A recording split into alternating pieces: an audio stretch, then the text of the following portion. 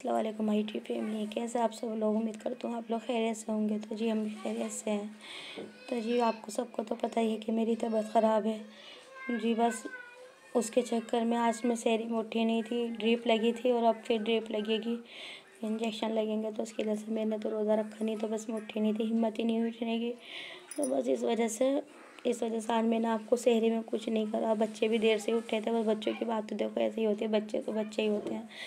तो बस आगे का बस ये ऐसा हिसाब है कि मेरे बड़ा बेटा जो है जुनेद उसकी तबीयत ज़्यादा ख़राब हो रही है। उसके जो है बुखार नहीं उतर रही है तो वो दिल्ली रहता है तो बस वो भी आ रही है। उसकी भी एक बहुत बड़ी टेंशन है, मुझे जो है उसका रिपोर्ट वगैरह करा ली तो उसमें वायरल आया है तो बस उसकी रिपोर्टें वगैरह होंगी अल्ट्रासाउंड होगा एक्सरे होंगे तो बस इंशाल्लाह देखो शाम तक वो भी आ जाएगा। तो बस इंशाल्लाह उसको अल्लाह ने चाहा उसकी दवाई यहीं करूँगी। अल्लाह ने चाहा तो वो ठीक हो जाएगा दिल्ली में परदेश में इंसान रहता है। तो देखिए घर जैसा तो आराम नहीं मिल पाता यहाँ रहेगा हमारे सामने रहेगा हम देखते रहेंगे उसको। अब पापा उसके काम करेंगे या घर में रह के उसको देखेंगे तो वो बात नहीं हो पाती। भले से नानी है ताई है बड़ी माँ सब तो आए थे ड्रिप लगा के चले गए थे दो बोतलें चढ़ा दी बस। वो बता दिया गया पहले इसका खाने के लिए तो दाल बनाई थी मैंने मूँग की।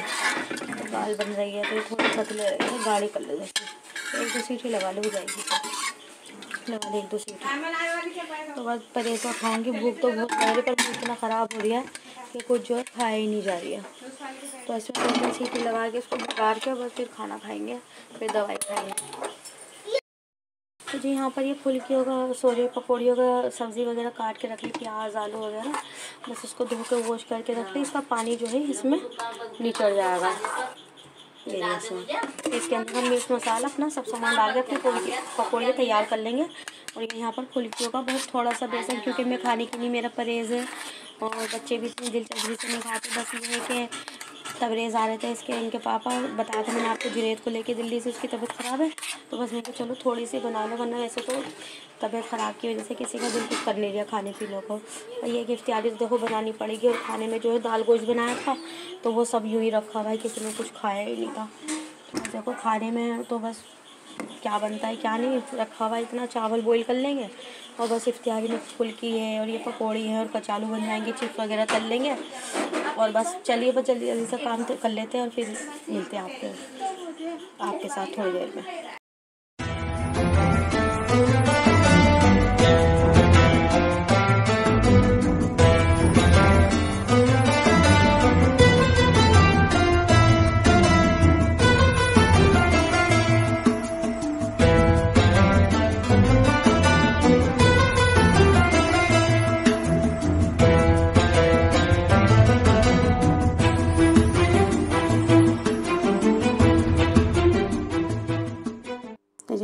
यहाँ लग चुकी है, जैसे भी आपके सामने है।